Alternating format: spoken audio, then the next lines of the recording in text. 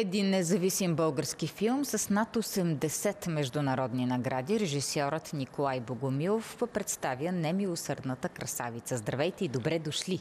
Здравейте, благодаря за предоставената възможност да разкажа за филма. 80 награди. Да. Сериозна е... бройка е това. Ами да, бройката е сериозна. Аз вече почнах да свиквам с това, защото постоянно получавам награди. Но нещото, което... А очаквани ли бяха тези награди? В някаква степен да. Но а, нещо, което най-много ме радва е, че си, филма започва да помага на репутацията на българското кино, за него да се говори като новаторско кино. Канат ни на фестивали, напоследък поне има 5-6 такива, които да представим нашия филм заедно с революционерите на съвременното кино, които искат да побутнат статуквото към ново развитие, да предложат нови пътища за развитие на киното. Така че даже тези писма, които в момента получавам с такива отзиви, които ни определят като такова кино, те даже ме радват повече от наградите. В момента които... виждаме трейлера. Да. Как дойде идеята за този филм? Малко да разкажем за него. Ами от а, много години аз, заедно с една а, а, руска писателка и филоложка, а, с български корени, която се казва Фейна Гринберг, се занимаваме с изследването на живота и творчеството на френския поет Франсуа Вион. Там се оказа, че има българска следа и че всъщност това е един човек, който несправедливо е обвинен от католическата църква, с която е имал проблем. Тя му скълъпва едно измислено обвинение. Той е лежал в затворите, да, да кажем. доказват си го обвинението, както така се случва и до ден днешен. Властта може да направи със всеки какво То пожелае. значи нищо не се е променило, да, уви, за толкова да. години, така ли? Да, обаче се оказва, че ето тази почти 600 годишна несправедливост е дошъл момента да й се сложи край. И сега света може да види истинското лице на този изключително смел човек, който за своите убеждения е платил с много страдания и с живота си. Докато е страдал, е, е написал изключително творчество, което няма нищо общо с това творчество, което е преведено и защото то е преведено от тази концепция за Бохем, който между две, а, две кражби и едно изнасилване пише такива стихове. Да, някой го определя дори като престъпник едва да, ли не. Ема църквата го определя като престъпник, тя му смачква репутацията во веки веков. Но ето, оказа се, че не е во веки веков. Те го обвиняват, че ограбил Наварския колеж, той е бил кабинетен учен. И той, за какво да го граби? И бил със сериозно образование, трябва да, да кажем. Да, сериозно образование. Стиховете му, всяка фраза препраща към а, Овиди, Вергили, Хораци. Това е много интелектуално, символично творчество, което е изключително нещо. А, а това, което ние четем като превод, са някакви тия тралала, тралала. Няма нищо общо. Направи се превод, като се махна тази ужасна концепция за него и оттам светнаха изключителни неща. Така, че... Няколко изречения можете ли да ни кажете така? Помните ли на Прима Виста? Разбира се. Които значи, ви впечатлиха значи, така, че да направите значи, филм за този автор? Зрителите ще видят и ще чуят а, тези стихове и ще видят творческия процес. При какви условия са се родили тези стихове. Нещо много важно, което казва той. Той казва така. В своята страна аз съм в далечна земя. Тоест той е чужд на това място. Тя не му е майка. Да. И а, всъщност той е бил последовател на богомилското учение. Имал е малко общество, пред които е проповядвал, които са го отъждествявали с Христос. Той също се отъждествявал. Например, фразата от всякъде гонен, навсякъде прият, това е фраза от Евангелието на Христос и това нещо се среща неколкократно в неговите стихове. Той казва, аз съм Христос. Богомилството е вярвало в това, че а, Исус Христос винаги съществува едновременно в два варианта. Небесен и земен. Тоест това не е един такъв вариант, който той е дошъл, пожертва се и след това отива и гледа мача и чака страшния съд. Не, те казват така. Това е един постоянен процес. Защото светът е устроен по такъв начин, че а, ако има свръхестествена намеса, изчезва човешката свобода. А като изчезне човешката свобода, това същество не може да бъде щастливо. И за това, това го има в много религии, митологии, Бога се жертва и се превръща човек, защото по правилата само човек може да помага на човека. Толкова години по-късно, с какво са актуални темите, така че да ни докоснат? Разбрахме с вас и си казахме, че нищо не се е променило в лошото, а в хубавото. Ами, първо, изключително за мен интересно беше да разкажа една реалистична история, в която да покажем истинско средновековие и темите и психологията, и определени ценности и идеали, които са, за, за да кажем, за съвременното кино в голяма степен са някакви отживели понятия. А, срещна, среща се много често, това е вече почти банално клише, някой, примерно млад режисьор казва, правихме го филм, обаче гледам да не е прекалено сентиментален. Ние правиме сантиментален филм и не ни е страх от това. Искате да докосне. Ми, разбира се, защото а, красиво кино трябва да се прави, възвишено кино, като да работи за човешкия идеал, а не да показва света като едно мрачно, ужасно място, а човека като най-ужасното същество. И затова избираме това условно средновековие, което постепенно, постепенно при развитието на сюжета се превръща в приказна, притча, история. Говорим за темите на, на днешния ден. В втората и трета част може да видите много актуални теми. Кои въпроси поставяте? Кои въпроси поставяме? Например, темата за войната темата за сложните отношения между мъжкото и женското божествено начало, темата за творческия процес, за цената, която трябва да, твър... да платиш, за да имаш истинско голямо творчество. Тоест, има много теми. Просто филма е много амбициозен като проект и си поставя много задачи. Но главното за мен в едно голямо произведение на изкуството, за което като киното стоят да кажем 150 човека екип, всичко трябва да е правдиво, всичко трябва да е верно, да има изключително операторска работа, художници, особено когато правиш епоха. А, Ето това е най-трудното, когато а, се да, прави епоха. Той да, струва скъпо. Струва скъпо. Актьорска игра имаме великолепна. Имаме абсолютно нови лица. Просто виждате абсолютно нови лица, великолепен Винсент Моли в главната роля, който е с сценарист, различни видове мъжка красота, различни видове женска красота, едно богато, красиво кино. И, и всъщност то говори за много актуални теми. В третата част особено може да се видят много символични неща, които зрителя може да открие.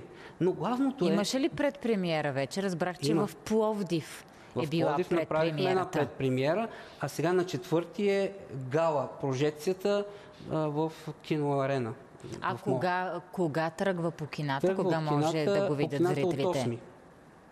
Да, тръгва по кината от 8. Да, това, което исках да кажа, че главното е цял, за всичките тези усилия трябва да има истинско чувство, което да остане за зрителя, да докосне зрителя. И ние сме се опитали с особен, новаторски стил, с много красива музика. Много разчитаме на музикалността на българина. Ето, това знаете, е талант. това прави една лента качествена и така докосва. С музиката също така. Но това не струва ли, както ви питах по-рано, много скъпо, когато вероятно нямате и помощ от страна на държавата? Няма помощ от страна на държавата, но тъй като в това кино има много стилистични експерименти, защото аз исках да направя кино, което да даде на световното кино някакъв нов пример. Има новаторски подходи, които винаги носят риск. И аз съм такъв човек, който съм свикнал от край време, че за своя риск си плащам сам. Сега съм го направил, този риск се оказа, че е оправдан. Имаме голям международен успех, надявам се и България да ни оценят. И в от тук нататък в Пловдив как го възприеха хората? Защото това е пъл, първия ви пълнометражен филм. Ами... Имате и други награди от късометражни филми, което е съвсем различно. Ами, за мен беше много интересно, защото и в Пловдив и във Варна, когато го показвахме на фестивала Златна роза, много най-различни хора идват и споделят, да кажем, има много драматична част, има женска тема. А, една жена беше дошла и работи в банка и казва, последната част, трагичната част, все едно разказва за мен. И друг припознават се припознава себе си истински чувства. Други хора казват, не разбрах всичко, честно. Защото в интелектуалния пласт там има голяма дълбочина и има много на къде да се копае. И, и как, но искам да го гледам още веднъж, защото остана истинско чувство и желание да го гледам още веднъж.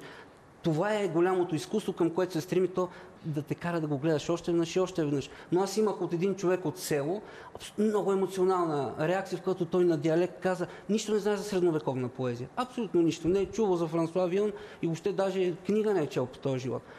И така плачеше с такива сълзи и казва, кога се разделяха накрая и, и плаче. И това е най-големия подарък за всеки един режисьор. И то изкуството трябва да докосне и този, който стои много да. нависоко в интелектуално да. равнище и този, който стои много ниско. Да. Ли, то, има това своя, се прави това изкуство. Своя чувствен пласт, който е най-важният, защото това е голямата роля на изкуството. Има интелектуална дълбочина, което му дава шанс този филм да се нареди някъде, дай Боже, в тези филми, които остават за винаги, не снимаш на някаква тема за деня и утре го забравят. Така че постарали сме се да има много. То е него- предизвикателство. Клиширано звучи, но е факт. Еми, да, такова предизвикателство си поставихме, поехме всички рискове, сега очакваме да видим дали За богомилите на финала на нашия разговор, какво разбрахте? Нещо, което не знаехте до този момент.